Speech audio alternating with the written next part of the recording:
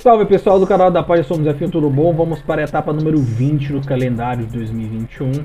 Vamos para o GP do Qatar, na cidade de Doha, a pista de Losail, uma, uma corrida que nós nunca tivemos na Fórmula 1, será a primeira vez que o Qatar recebe a Fórmula 1.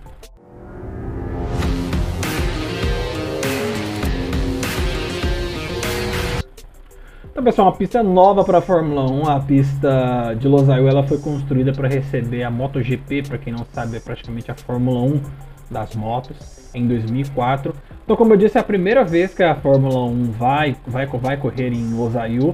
Ah, vamos ter o GP do Qatar agora em 2021, depois 2022 vai estar ausente, e de 2023 em diante vai ser um contrato de 10 anos mais uma corrida em países do Oriente Médio, já até comentei sobre isso, qual a intenção da Fórmula 1, de onde vem o dinheiro do Oriente Médio, qual que anda muito forte na Fórmula 1 hoje, os países árabes.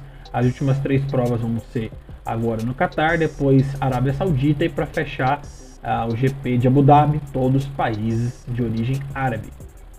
O motivo disso é a quantidade de dinheiro árabe que está sendo injetado na Fórmula 1, até já fiz vídeo falando sobre isso, a Aramco hoje é uma das principais patrocinadoras parceiras da Fórmula 1, uma empresa de origem saudita. Então sempre tem um porém por trás de tudo na Fórmula 1 e grande parte disso é o dinheiro.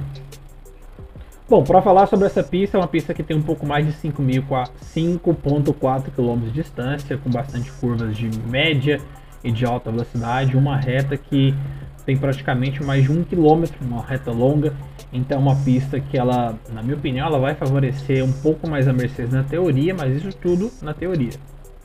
Lembrando que vai ser mais uma corrida noturna, vamos ter mais uma corrida à noite com iluminação artificial. A, a pista de Losail ela fica no meio do nada praticamente, no meio do deserto, uma pista que parece que está perdida. Vou até colocar uma foto para vocês, não, não tem nada próximo que ela fica nos arredores da capital Doha. Então, sobre a pista, como eu falei, curvas de média e de alta velocidade, algumas curvas de baixa, serão 16 curvas, uma zona de DRS ali na aferição vai ser antes da na última curva, né, uma reta com mais de um quilômetro. A pista tem um comprimento total de 5.38 km, não temos tempo de volta da Fórmula 1 a primeira vez, serão 57 voltas e a distância da corrida está de 306 km, 66 metros. Normalmente eu sempre coloco os maiores vencedores da pista, as estatísticas, mas como Losail não tem, a Fórmula 1 nunca correu, então esse dado nós não temos, é um dado nulo. Por enquanto, a partir de 2023, nós já vamos ter algumas informações para passar sobre essa pista, já que vai ter um contrato de 10 anos, então vai ser uma, uma pista que vai ficar na Fórmula 1 durante bons anos. Sobre os horários do GP do Qatar, o, tre o, o treino livre 1 TL1 será às 7h30 da manhã, o treino livre 2 será às 11 da manhã, isso na sexta-feira.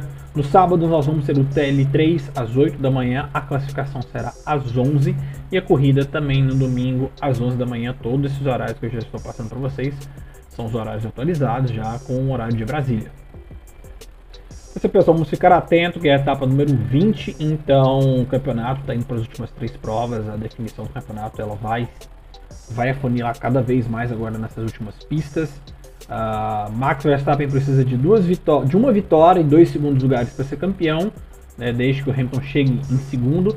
E o Hamilton precisa vencer as últimas três provas, desde que Max não seja mais do que segundo colocado. Então, assim, as coisas estão ficando mais intensas.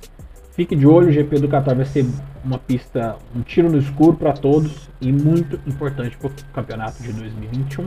Então faz o seguinte, se você tiver gostado do vídeo, deixa o like, se inscreva no canal, acompanhe também a página Somos F1, até a próxima e um abraço.